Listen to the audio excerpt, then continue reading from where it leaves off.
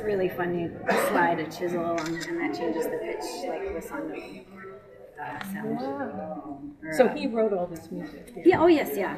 And so I think someone asked yesterday, like, did he do all this and then write the music, or vice versa? And I think it must have been a back and forth process.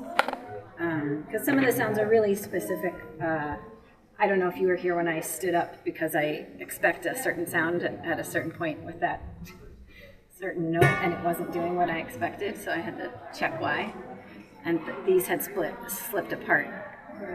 Uh, How does you the play slightly rubber? more so we can wash them? Yeah. Yeah, and as you can see, so some of them he asks for nuts on the screws or bolts, and all of these started out up at the top, but just as they get played, the vibrations. What does the rubber versus this metal do? Uh, here's a, let's see, is that one? That's just rubber. That's rubber. So it sounds like a hollow wood box almost. Yeah, yeah. And then here's one that has both a bolt and a rubber. So you can hear, and like just a clean bolt sound is. Um,